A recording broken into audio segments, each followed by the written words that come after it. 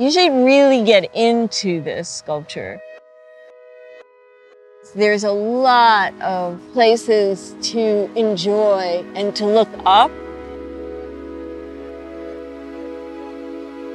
We're gonna make something big, let's look up. I only started making these pieces keeping Storm King in mind. Not that I wouldn't have made them anyway.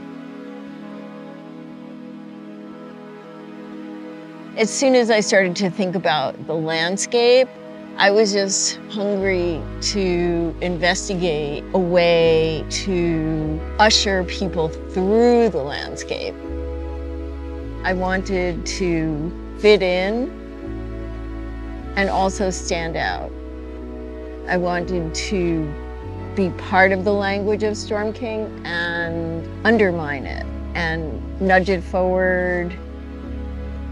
The sculptures tend to be very neutral, and my idea, not to make neutral works. There's so many surprises. I have to stop myself from coming every day. Things change depending on the time of day, depending on the weather, depending on the shadows. Oh, it has really incredible, incredible light today. I think that I'm always working with architecture.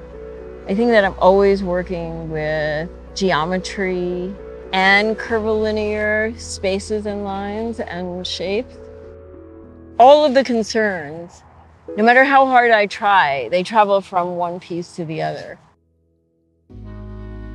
I want the works to have personality. It's important that they communicate a sense of joy, awe even, but coupled with a fragility and a sense of humanity. All right.